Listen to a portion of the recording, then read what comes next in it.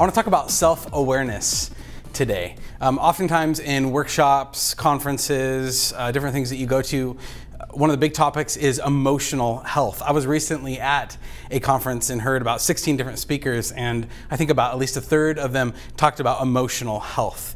And part of emotional health is being self aware. Now, when I talk about being self aware, I'm not talking about self enlightenment or becoming the better you or anything kind of weird like that. Really, what I'm talking about is this. We'll use this definition today conscious knowledge of one's own character, feelings, motives, and desires. Again, conscious knowledge of one's own character, feelings, motives, and desires. One of the reasons I'm so passionate about self awareness is because it's been a big part of my journey um, as I've grown in my relationship with Christ and also as I've grown as the leader He's called me to be. I remember one time I was out with one of my mentors, who was my pastor, my lead pastor at the time, and we were out to lunch and we were sitting there and we were chatting, and we just happened to be out with one of my other friends who is a, uh, a youth pastor. And as we were talking, we were talking about self awareness. And my pastor looked at me and he said, Josh, you're very people aware and others aware, but you're really not self aware. And I remember the feeling I had, like it hurt my feelings. I was like, are you kidding me? Like, and you're saying this right in front of other people? And I, th- I got to think, I was kind of like offended at first. And I started to think about it. I'm like, oh, like, you know what? Actually, I, I think he might be right. I started looking at different um, areas of my life. Here's the deal I've always been really good at picking other people apart, kind of like um, maybe questioning motives, and maybe even honestly, you could even say discerning to a certain extent.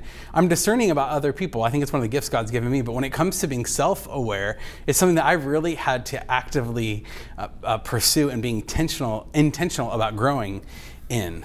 Um, when you talk about be- becoming self aware, you are saying, I want to be all that God has called me to be. I want to use all the gifts that He has given me and the person He's made me to be with a personality and all of that. And I want to be all that He's asked me to be. Um, a Christ follower views self awareness through the lens of stewardship, not selfishness.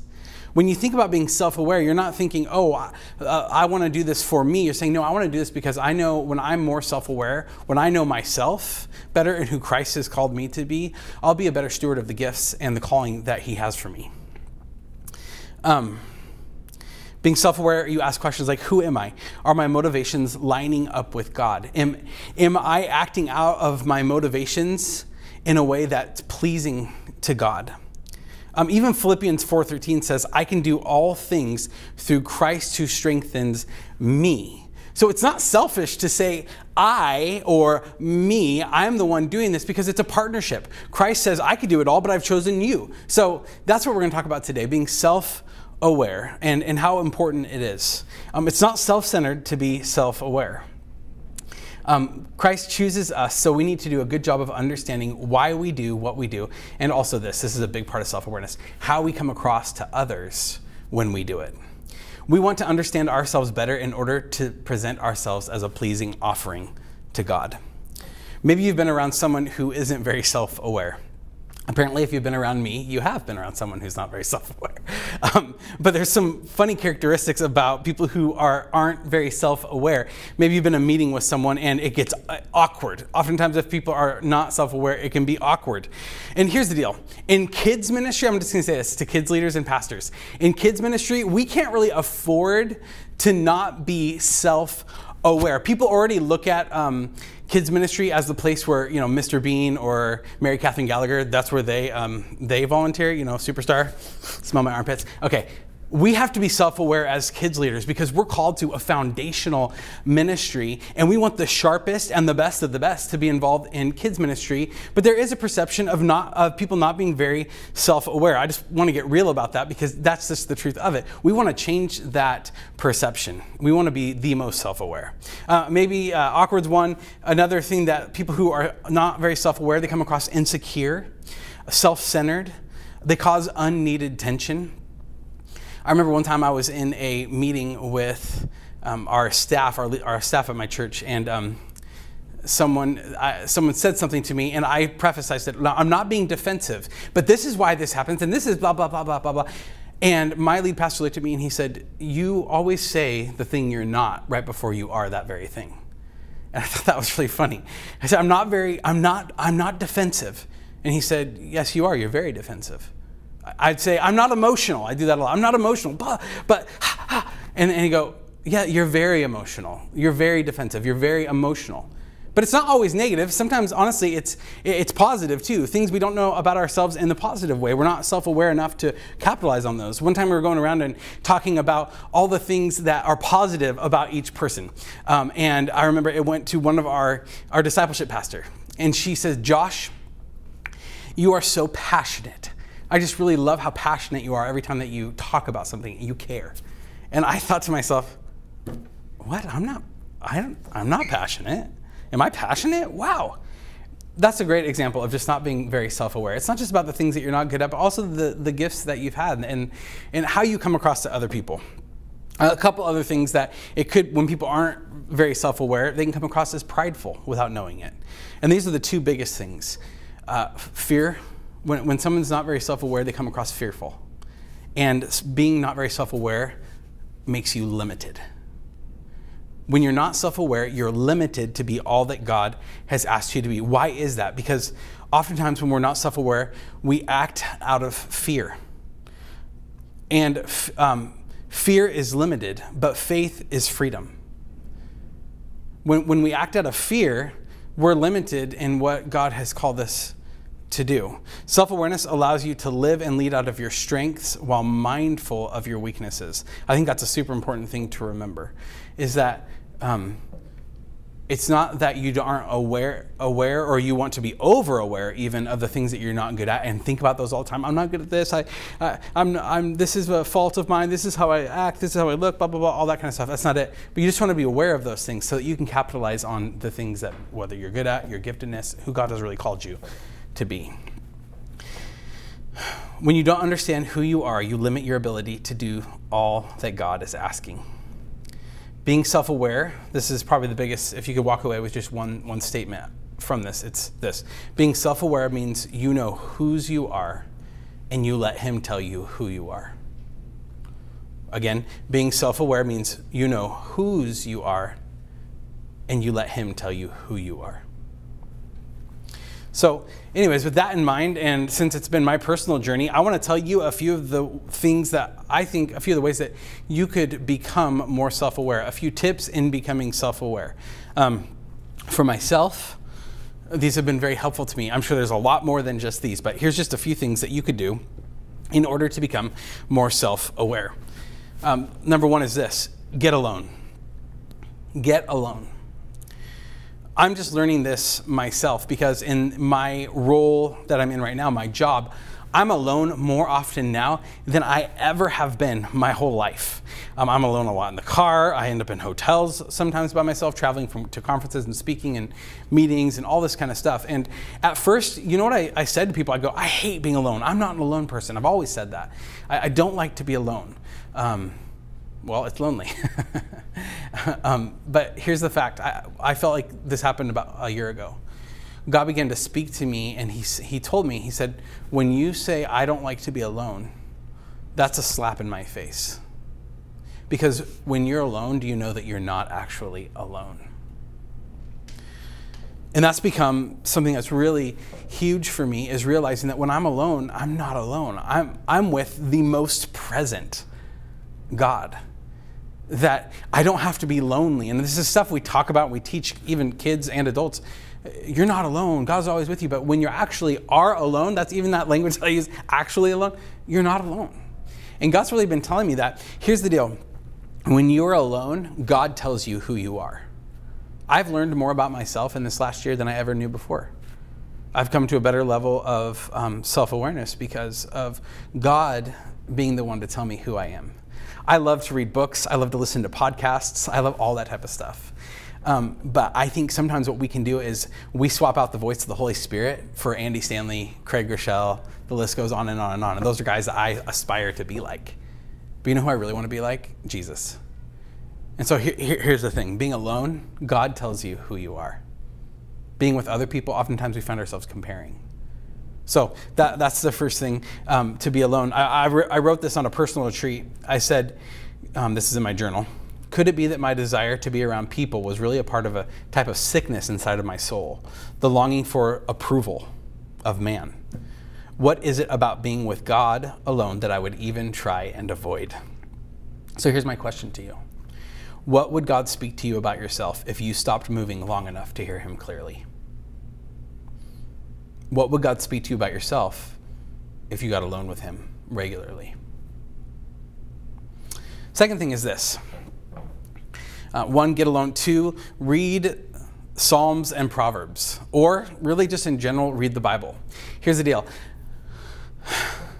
I don't want to rabbit trail too much here, but I can't think of anything that helps you become more self aware than reading Scripture, reading God's Word revealing Himself to us. And when I talk to so many kids' leaders, I hear excuse after excuse, and it feels like I'm getting punched in the stomach, it makes me sick. How can we make excuses? I'm not much of a reader. Oh i just i'm so busy. I just have the well it's hard for me to stay on a, any kind of pattern because then I, I feel like my motivation at that point is just to stay on track. You know what? Honestly let's put excuses aside and get back into reading our bible and our scripture the thing that feeds us more than any other busy thing or whatever. Even if you feel like oh it's becoming more rote or it's becoming kind of like a discipline. Boom. That's exactly it. It is becoming a discipline. It should be a part of who you are. It should be a part of what you do. It's not always going to be some emotional experience. But the number one way that God reveals himself is through his word. For the word of God is alive and active, sharper than any double edged sword. It penetrates even to dividing soul and spirit, joints and marrow. It judges the thoughts and the attitudes of the heart. That's Hebrews 4:12. God's word reveals the truth about who you are in relationship to him. And you know what one of the scariest things maybe for some people when it comes to reading the Bible is it really reveals your motivation. It reveals why you do what you do. But that's something that should be exciting. Side note, when it comes to self awareness, it is kind of scary sometimes to be self aware because you, you start noticing and really thinking, going down deep and going, well, why did I do this? Why did I say this? Why did I tweet this? Why did I text this? Why is this the thought going through my mind towards my leaders, towards my, towards my team, towards my kids? But when you, when you really start diving in and figuring out who God says you are, through spending time with Him, whether it's just time with Him or time reading the Bible, um, it becomes something that actually can be kind of fun, really, honestly, because you start to understand this is why I do what I do. And then he's so loving and he's so kind that he comes alongside you and he says, I love you, even if your motivation was a little off. I know, I know what the motivations of your heart are. Here, just make a little slight adjustment. And he's so kind and, and caring with us to do that. He cares about you as an individual. Becoming self aware, remember, is, is letting Him tell you who you are. Question two What's your reading plan? Are you actively seeking truth in God's Word? I would challenge you with that. What is your reading plan? Do you have a plan to, to be reading your Bible on a regular basis? that shouldn't be something that sounds coming out of my mouth, something that goes in one ear and out the other. I'm sad that it's gotten to that point, even for sometimes when I listen to a message. That's just horrible. It's the one of the one of the main things that we should be driving people towards. So, yeah. Anyways, as a leader, that's big. So let's be doing that. Um, uh, a third way is this: find a way to process thoughts and feelings. Find a way to process your thoughts and feelings. That will help you in self awareness. For me, this is journaling. And I don't even do it as much as I should, but I'm always amazed when I write down at the end of the day the thoughts that are going through my mind and just even how my feeling comes out in, in my words. That's journaling, that's for me. That's not for everyone, but I know that I'm, I'm kind of a writer. And um, sometimes God speaks, He speaks to me and through me as I write. And I'm just like, whoa that's exactly what was going on here. So, um, I guess my question to you in this would be what what do you do to get perspective on your thoughts and feelings? Are you processing with a person, um, spouse, friend, whatever that is? But that will help you to become self aware. And I think one of the safest things, honestly, about journaling is that it's really between you and God. Um, it's a, like prayer. Um, uh, that's a very safe place to to process through some of the things that you, you're not sure if you'd want other people to hear them um, because you don't know if you're saying them articulately, articulately, see, funny, articulately, um, or you don't know if you're, um, you don't, you also don't know if uh, even you believe what you're saying, that's okay. Put it on paper, and, and God will work with you on that. So that's mine. Um, another thing you can do to become self aware is ask a mentor, lean into the wisdom of the wise. This can kind of hurt, but like I said, you learn to love it. Um, I have a couple people in my life who I'll call, and sometimes I'm afraid to even ask the question, What do you see about me here that I'm, am I coming across like this? And those people will say, um, Yeah, yeah, I think you can make a, a, couple adjustments here or there. But who are a couple people that you have in your life um, that you can trust to tell anything, even when it hurts? The last thing is this seek God's heart. To become self aware, seek God's heart. Ask Him Proverbs 21 2 says, People may be right in their own eyes, but the Lord examines their heart. The Lord will tell you. He's always speaking. The question is, are we listening? But He'll tell you specifically if you just spend time to ask Him, God, what do you think about this? Who, when, when, when I'm thinking about this, how, what are my motivations? God, when I, when I say this, how is that coming off? God, am I leaning into all that you've called me to be, or am I acting out of insecurity? And God will speak to you. You're a son, you're his daughter, you're his child. He will speak to you. People may be right in their own eyes, but the Lord examines your heart. He knows everything that's going on in there. He actually knows you better than you know yourself. Um, I think it's interesting that the Hebrew word for heart in this Proverbs is the word lab. That means the inner man, the mind, the will, the heart, and the understanding.